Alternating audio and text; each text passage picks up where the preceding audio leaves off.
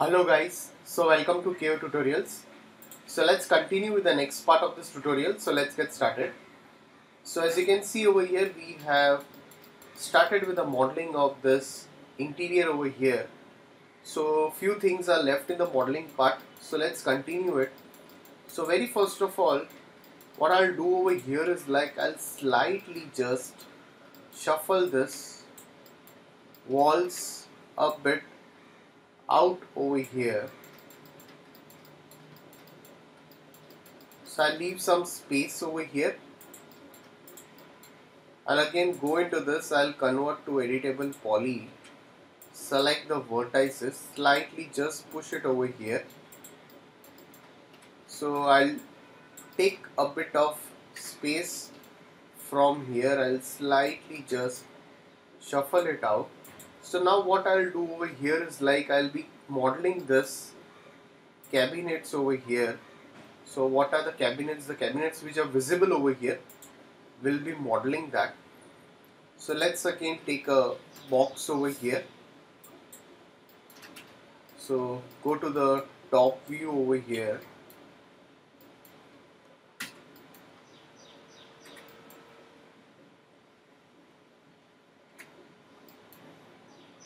so just take the cabinets till here.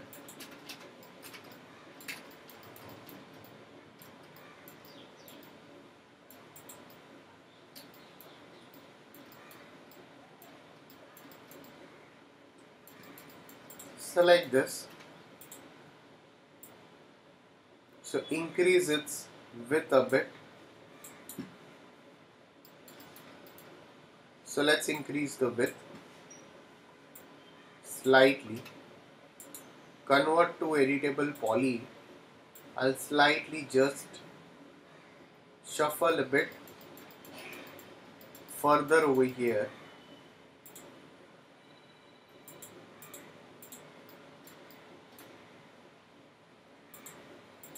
Slightly just push it a bit inside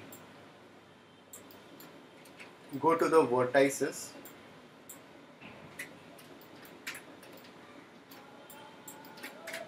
And shift it up till here.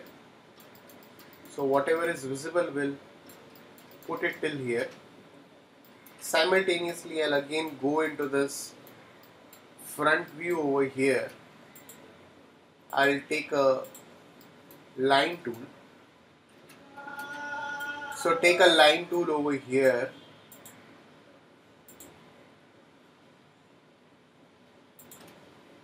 Like this. Create something like this. And again go into this. If you want you can slightly push it a bit till here. Go into rendering enable in viewport and I'll make it as rectangular and you can shuffle its length till wherever you want. So for now it is visible till here. I'll keep it till here and convert to editable poly select the vertices, slightly shift in here. So now again go over here.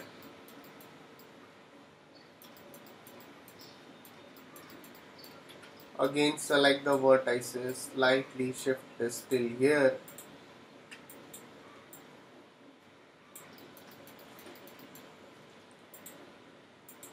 So let's take one swift loop over here. So if you want we can create this.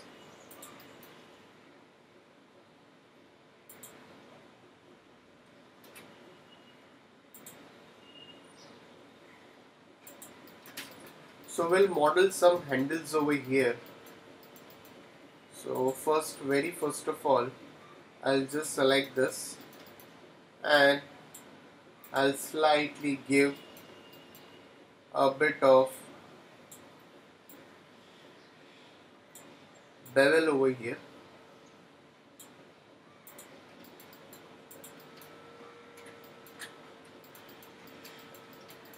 So I'll slightly assign a bevel. After that so what kind of handles you can create over here? Very simple. I'll go into this view over here.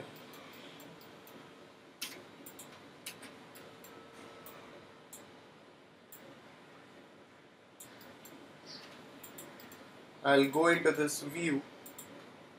So let's just take a line tool. Go into this line tool and reduce its length a bit.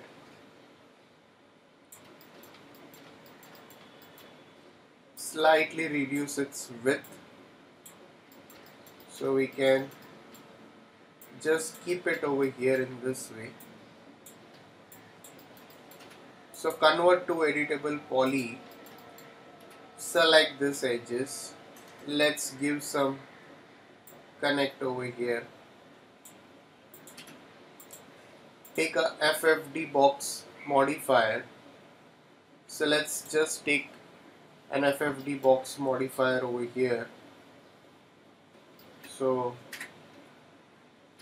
select this. Press R and scale it. We can give some details in this way.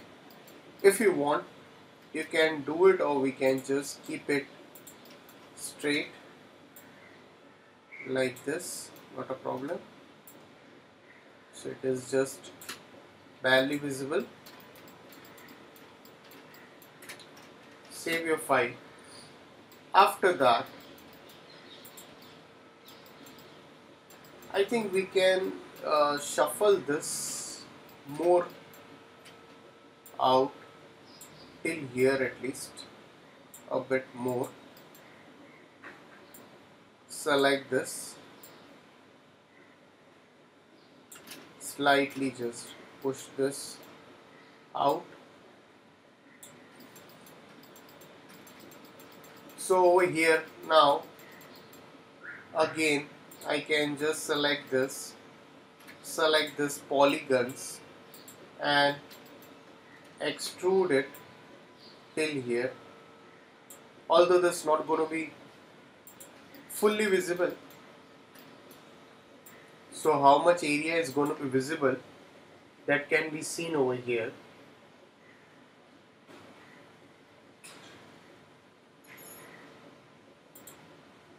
again we can take a chamfer box over here.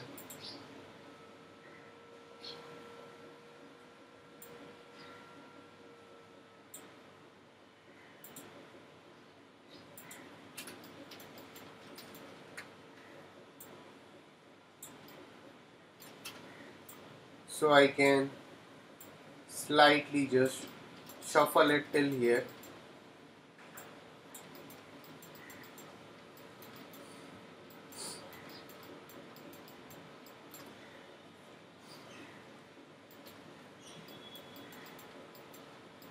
and if you want to take this pillows you can take it. Or we can definitely create it over here. It's not a problem. So let's create it. So let's again take a chamfer box over here. So let's again take a chamfer box. And assign some segments over here. And let's give a turbo smooth over here. Slightly just push it up. So go into this animation MassFX cloth create mCloth select the floor animation MassFX rigid body set selected as static rigid body. I don't want it to move over here. So I'll go into this. I'll keep the shape type as original over here. Select this. Animation, MassFX, simulation and play simulation. So let's go into this and we have one more property that's enable balloon behavior. I can take this, convert to editable poly.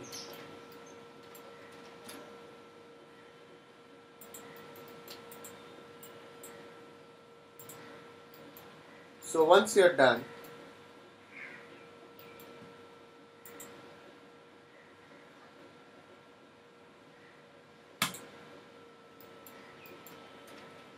so I can just go over here into this free form then you have this pinch and spread option. You can slightly just pinch and spread this.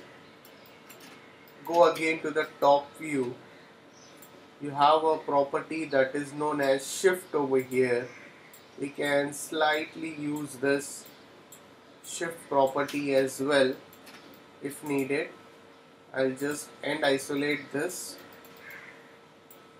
I'll shuffle this over here onto the top. So scale it again. So definitely we need to set the camera accordingly. And again just duplicate it rotate it slightly and push it on the top.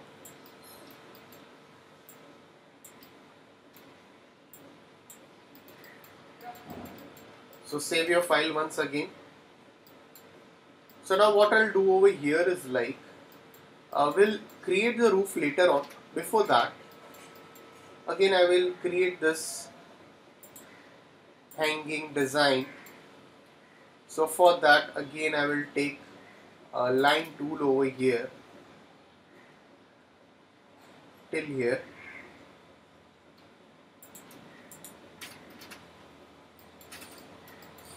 So I'll go into this and I'll make it as radial.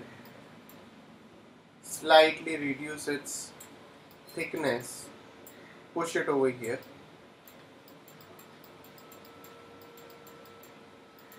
after that if you want it should be more thicker less thicker. You can do that. That is totally possible over here.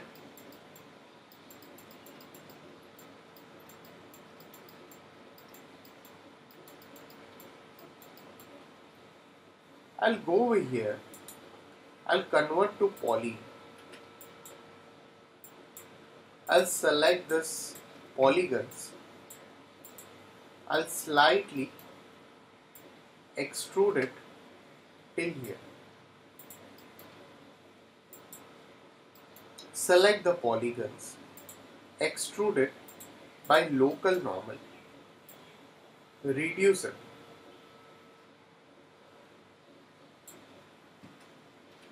So alright. So once you're done after that let's again take a cylinder over here. So draw a cylinder. And push it till here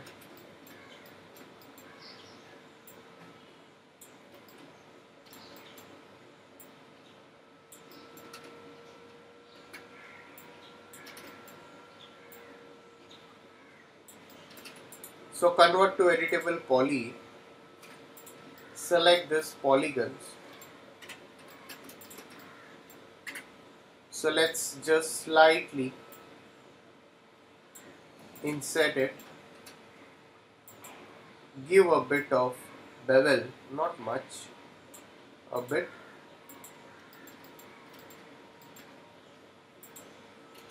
Select the vertices so go over here. Select the edges and slightly give a bit of chamfer over here. Click OK. So over here right from the top view again I will take one cylinder that you can place it over here.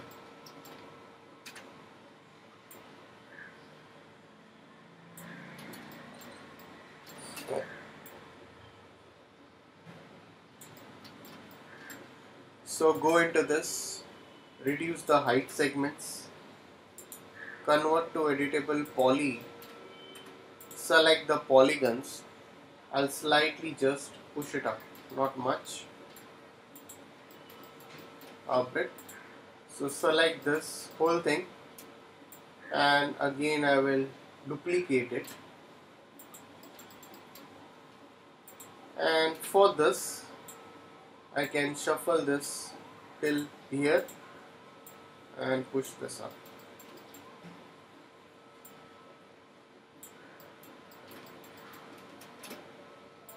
So save your file over here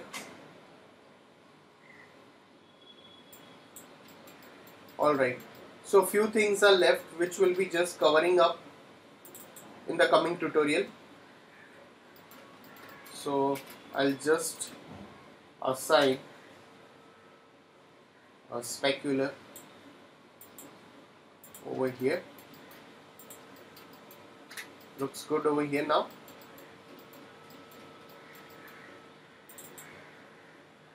So guys please like and subscribe my youtube channel so we'll continue the rest of the part in the coming tutorial. So we'll be covering up few of the things which is just left out then we'll start up with the texturing part for this particular interior. So thanks for watching this tutorial.